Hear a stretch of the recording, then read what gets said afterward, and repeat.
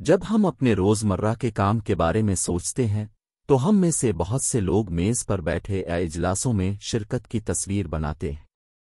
हम में से अक्सर के लिए कंप्यूटर पर काम करना। ताहम, तमाम मुलाजमतें बराबर नहीं हैं, और कुछ मौरूसी खतरात और खतरात के साथ आती हैं।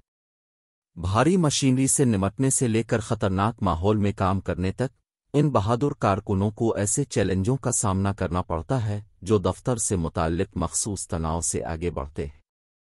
इंतहाई खतरनाक काम की जगहों की इस खोज में हम हर पेशे से वाबस्ता अनोखे खतरात का जायजा लेंगे और उन सरशार अफराद के बारे में जानेंगे जो हर रोज अपनी जानें कुर्बान करते हैं। नंबर छः, डॉकयार्ड्स और कंटेनर पोर्ट्स। डॉकयार्ड और कंटेनर बंदरगाहें सरगर्मी के मरकज हैं, जहाँ बड़े पैमाने पर बहरी जहाज़ कार्गो को लोड और उतारते हैं। भारी मशीनरी, गाड़ियों और कारकुनों का ज़्यादा इर्तिकाज इस माहौल को काम की सबसे खतरनाक जगहों में से एक बना देता है। क्रेन फोर्क लिफ्ट और दीगर सामान के हादसात के नतीजे में काम से मुतालिक शदीद चोटें पहुँच सकती हैं, जबकि डूबना एक और अहम खतरा है। इस सनत में काम के दौरान मौत की बुनियादी वजह के तौर पर हादसात और अमवात को कम करने के लिए हिफाजती प्रोटोकॉल और मुनासिब तरबियत ज़रूरी है। नंबर पाँच, केमिकल प्लांट्स और कारखाने। केमिकल प्लांट्स और कारखानों में काम करने वाले रोज़ाना खतरनाक मादों से निमटते हैं, जिससे अगर मुनासिब तरीके से निमटा न जाए तो सेहत के संगीन मसाइल पैदा हो सकते हैं। कीमियाई नुमाइश, आग, धमाके और सामान की खराबी का खतरा उन काम की जगहों को खास तौर पर खतरनाक बना देता है। सख्त हिफाजती हिदायत पर अमल दरामद कारकुनों को मुनासिब हिफाजती पोशाक फराहम करना और सामान की बाकायदा देखभाल को नाफिज करना उन खतरनाक माहौल में काम करने से वाबस्ता खतरात को कम करने में मदद कर सकता है। नंबर चार, तामीराती साइट्स। तामीराती सनत को तवील अरसे से खतरनाक तरीन सनतों में से एक के तौर पर जाना जाता है, जिसमें गैर मोहलिक चोटों और अमवात की शरह बहुत ज़्यादा है। कारकुनों को बहुत से खतरात का सामना करना पड़ता है, गिरने से लेकर बिजली का करंट लगना और अशिया से टकराने तक। तामीराती मंसूबों में शामिल आलात और मवाद का सरासर साइज़ और वज़न सिर्फ़ खतरात को बढ़ाता है। सख्त हिफाजती जबते और हेल्थ इंश्योरेंस कवरेज कारकुनों की हिफाजत और इस मुतालबे के पेशे के खतरात को कम करने के लिए ज़रूरी है।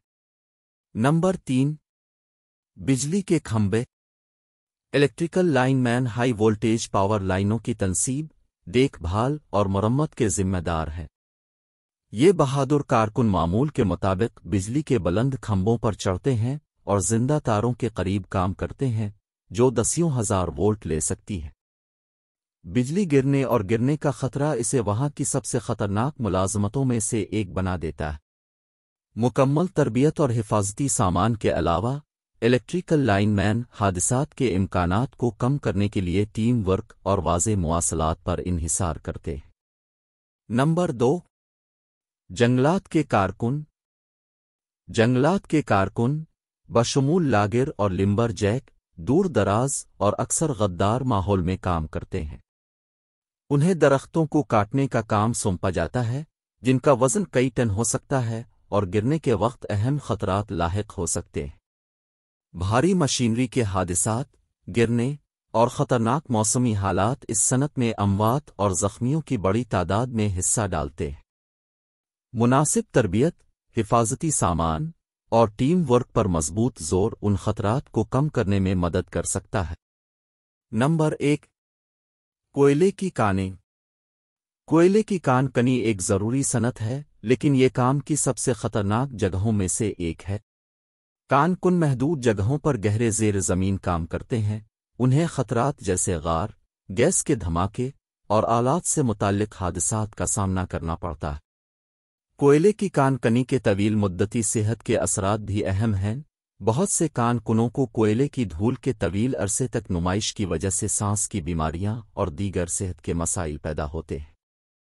सख्त हिफाजती जबते, मुनासिब वेंटिलेशन और हिफाजती पोशाक का इस्तेमाल कोयले की कानकुनों की सेहत और तंदुरुस्ती के तहफ़ के लिए बहुत ज़रूरी है।